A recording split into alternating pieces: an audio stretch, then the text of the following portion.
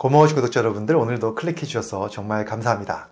오늘은 제가 뇌 건강에 대한 이야기 그리고 치매 예방에 대한 이야기 좀 드려보려고 하는데요. 제가 다른 영상에서 뇌 건강에 좋은 음식에 대한 얘기를 여러 번 드렸습니다. 자, 이 영상이 궁금하시면요. 제가 이 영상 말미에 추천 동영상을 올려놓을 테니까 그때 클릭하셔서 보시면 되고요. 오늘은 반대로요.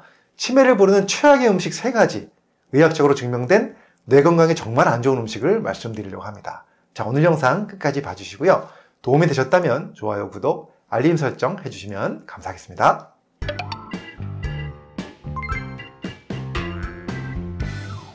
안녕하세요. 교육을 전공 교육하는 의사, 가정의학과 전문의 이동환입니다.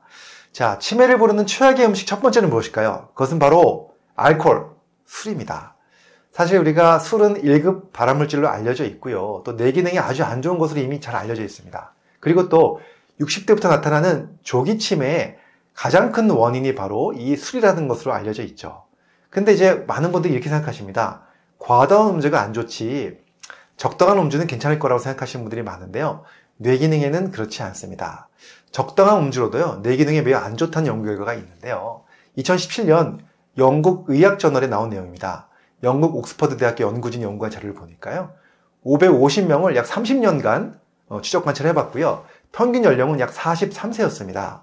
자, 음주가 꾸준하게, 어, 음주한 그룹이요. 적당한 양으로 꾸준하게 음주한 그룹이 뇌의 그 해마 크기를 어, 작게 만든다는 것입니다.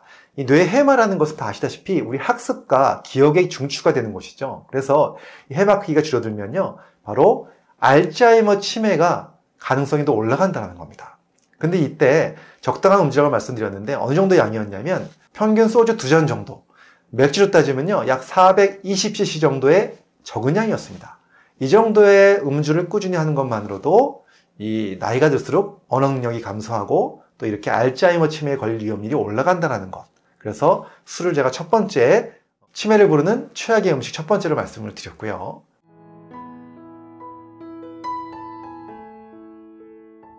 자, 그 다음 두 번째 치매를 부르는 최악의 음식은 무엇일까요? 그것은 바로 설탕. 당분이 많은 음식, 그리고 탄산음료나 뭐 이런 거겠죠. 그 다음에 또 단순당이 많이 들어가 있는 음식, 즉 밀가루 음식 같은 것들이겠죠. 이런 것들이 치매를 부르는 최악의 음식으로 두 번째로 제가 말씀을 드리고 싶습니다. 그 이유는요, 이런 음식들을 먹게 되면 당연히 혈당이 올라가겠죠. 그러면 어쩔 수 없이 몸에서 인슐린이 자꾸 나옵니다. 이런 현상이 생기다 보면 인슐린의 기능이 떨어지면서 인슐린 저항성이 생기죠.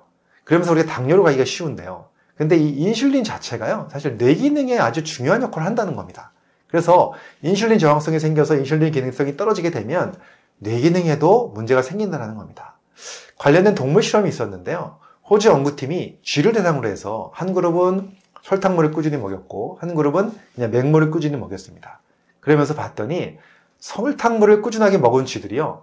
어, 어떤 뇌 기능에 문제가 오면서 과잉 행동을 일으키기 시작했고요. 또 뇌세포를 분석해 보니까 약 300개 정도의 뇌 단백질의 변형이 생겼다는 것을 확인할 수가 있었습니다. 그래서 이 인슐린이 기능이 좋은 것은 뇌 기능에도 굉장히 좋기 때문에 설탕이나 이런 단 음식을 자꾸 먹고 또는 단순당을 자꾸 먹어서 혈당이 올라가게 되는 것 자체가 당뇨에도 안 좋지만 뇌 기능에도 굉장히 안 좋다 이 말씀을 드립니다. 그 다음 세 번째로 치매를 부르는 최악의 음식은 바로 무엇일까요? 그것은 바로 트랜스 지방입니다.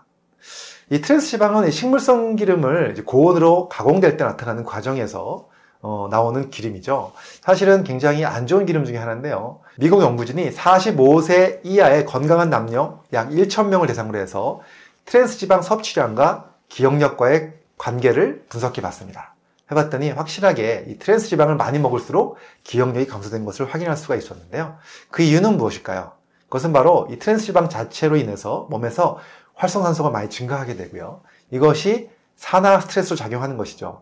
이 산화 스트레스가 많아지면 많아질수록 뇌 기능이 약해지는데 특히 이것이 해마에 영향을 미치면서 기억력을 감소시키는 걸로 되어 있습니다. 그래서 제가 치매를 부르는 최악의 음식 세 번째로 바로 트랜스 지방을 말씀을 드렸습니다. 그리고 이 트랜스 지방이 궁금하신 분들은요, 제가 따로 열려, 올려드린 영상이 있습니다. 그 영상 한번 보시면 트랜스 지방에 대한 이야기가 잘 나오니까 한번 같이 보시면 도움이 될 것 같고요. 자, 지금까지 말씀드린 것 세 개 그 외에도 또 하나 좀 추가적으로 말씀드린다면 가공육도 어, 이런 연구 결과들이 있습니다. 어, 아시죠? 뭐 베이컨이나 소세지 같은 것 물론 적당하게 드시는 건 괜찮겠지만 과도하게 드신다면 이것이 또 치매 위험을 증가시킨다는 연구 결과도 있으니까 이것도 함께 생각해 보시면 좋을 것 같습니다. 자, 오늘은 제가 치매를 부르는 최악의 음식 세 가지 말씀드렸고요. 어, 제가 과거에 올려드린 어, 치매를 예방하는 데 도움이 되는 음식들도 있었으니까 그 영상도 같이 봐주시면 좋을 것 같고 오늘 영상 보시면서 이런 음식들 잘 관리하시고 가능하면 적게 드시면서 건강한 뇌로 여러분들 건강한 생활 되셨으면 좋겠습니다. 감사합니다.